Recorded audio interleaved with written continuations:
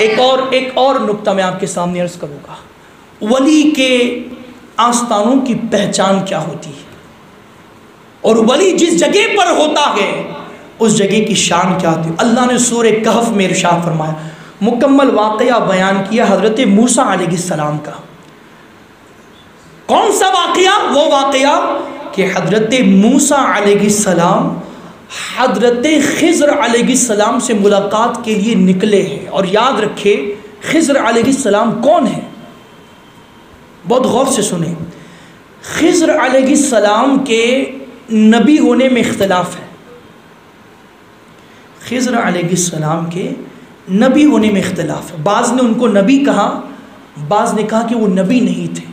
جملوں پر غور کرنا، ان کے نبی ہونے میں اختلاف ہے مگر ان کے ولی ہونے میں سب کو اتفاق ہے۔ غور سے سمجھے، کسی نے کہا نبی ہے، کسی نے کہا نبی نہیں تھے، لیکن ولی کے حوالے سے سب کا کہنا کہ اگر وہ نبی نہیں تھے تو ولی تو ضرور تھے۔ اب موسا ملاقات کے لیے جا رہے ہیں۔ کس کی ملاقات؟ ولی کی ملاقات کے لیے۔ کس کی ملاقات کے لیے؟ ولی کی ملاقات کے لیے۔ اور اللہ رب العالمین نے کچھ نشانیاں موسیٰ کو بتا دی ہیں کہ ایسی ایسی نشانی جہاں پر ظاہر ہو جائے، سمجھ جانا میرے خضر کا ٹھکانہ وہی ہے۔ یہ پورا واقعہ قرآن میں ہے۔ اب ہوا یوں کہ حضرت موسیٰ علیہ السلام اور ان کے خادم دونوں نکل پڑے حضرت خضر کی ملاقات کے لیے اور ساتھ میں توشے کی حیثیت سے، کھانے پینے کی حیثیت سے ایک مچھلی آپ نے ساتھ میں رکھ لی۔ مچھلی تل لی پکا لی اس کو آدھا کھا بھی لیا اور آدھا اٹھا کے رکھ دیا۔ اب چلتے چلتے چلتے وقت گزر گیا، بھوک کا احساس ہوا۔ کھا لیا۔ پھر آگے ایک جگہ پر، ایک دریا کے کنارے پر انہوں نے قیام کیا، تھوڑا سا آرام انہوں نے کر لیا۔ اب یہاں آرام انہوں نے کیا۔ اب وہ جو مچھلی تھی نا، مچھلی، جو آدھی کھائی جا چکی تھی۔ آدھا اس کا جو بدن تھا، وہ کھائی جا کے جا چکی تھی، پکا گئی پکا لی گئی، بھون لی گئی، آدھی کھا بھی لی گئی۔ اور وہ جو آدھی بچی ہوئی تھی نا، وہ آدھی مچھلی زندہ ہو کر اس دریا میں چلی گئی۔ اب یہ بات حضرت موسیٰ علیہ السلام کے خادم کو بتانی یاد نہیں رہی۔ موسیٰ کو انہوں نے بتایا نہیں علیہ السلام، وہ بھول گئے۔ حضرت موسیٰ علیہ السلام جب بیدار ہوئے تو ان کا یہ قافلہ پھر آگے بڑھا۔ جب آگے بڑھا تو پھر کچھ بھوک کا احساس ہوا۔ موسیٰ علیہ السلام نے کہا کہ لاؤ وہ مچھلی جو بچی ہوئی وہ کہاں ہے؟ تو خادم نے کہا، حضور میں تو بتانا بھول گیا۔ ہم جو قریب میں دریا کنارے پر پڑاؤ کیا تھا، آرام کیا تھا، تو وہاں تو وہ مچھلی زندہ ہو کر سمندر میں، دریا میں چلی گئی۔ حضرت موسیٰ علیہ السلام نے فرمایا، کیا بات کر رہے ہو؟ وہاں مچھلی زندہ ہوئی تھی، کہا، حضور زندہ ہوئی تھی۔ وہ مچھلی دریا میں چلی گئی۔ کہا کہ حضور دریا میں چلی گئی موسیٰ نے ارشاد فرمایا، او اللہ کے بندے، وہی تو خضر کا ٹھکانہ ہے۔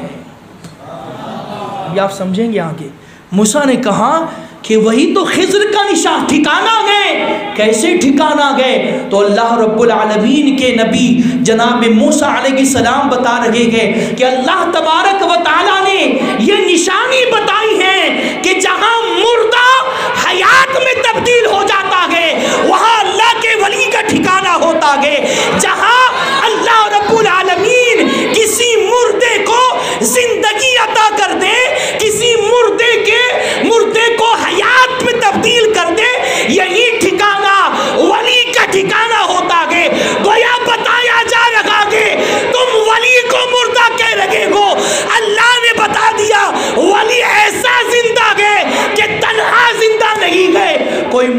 اس کی چوکٹ پر چلا جائے تو اللہ اس کو بھی زندگی عطا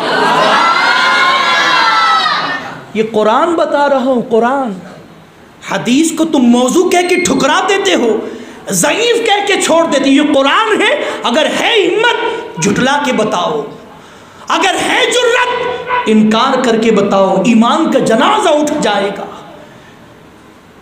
ایمان تباہ ہو جائے گا، برباد ہو جائے گا۔ تم ولی کی حیات کی بات کرتے ہو کہ وہ مر کے مٹی میں مل گئے، معاذ اللہ۔ وہاں تو صرف مٹی کا ڈھیر ہے، معاذ اللہ۔ وہاں تو صرف خاک ہے، معاذ اللہ۔ اے نادانو، یہ اللہ کے نبی کی سیرت بتا رہی ہے کہ ولی کی سب سے بڑی پہچان یہ ہے کہ جہاں پر موت حیات میں بدل جاتی ہے، جہاں پر مردہ زندگی سے مل جاتا ہے، یہ وہ مقام ہے جہاں اللہ کے ولی کا بسیرا ہوتا ہے۔ یہ وہ مقام ہے جہاں اللہ کا ولی رہتا ہے۔ بڑے تعجب کی بات ہے۔ لوگ اس طریقے سے پروپوگنڈے کرتے ہیں کہ وہاں کیوں جاتے ہو؟ وہاں مٹی کا ڈھیر ہے۔ اللہ کی عزت کی قسم، یہ وہ مٹی ہے کہ جس مٹی کو اگر سرما بنا دیا جائے تو فرشتے بھی اپنی نگاہوں میں سجانے میں فخر محسوس کرتے نظر آئیں گے۔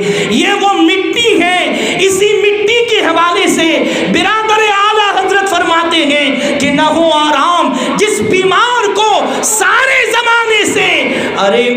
لے جائے، تھوڑی سی خاک ان کے آستانے سے۔ یہ وہ مٹی ہیں کہ دنیا کے بڑے بڑے اطبا بڑے بڑے ڈاکٹر اور بڑے بڑے حکیم و وید جس بیماری کے سامنے اپنے گھٹنے ٹیک دیتے ہیں، اس بیماری کا علاج ان بزرگوں کے آستانوں کی مٹی سے ہو جایا کرتا ہے، ان کے آستانے کی خاک سے ہو جایا کرتا ہے۔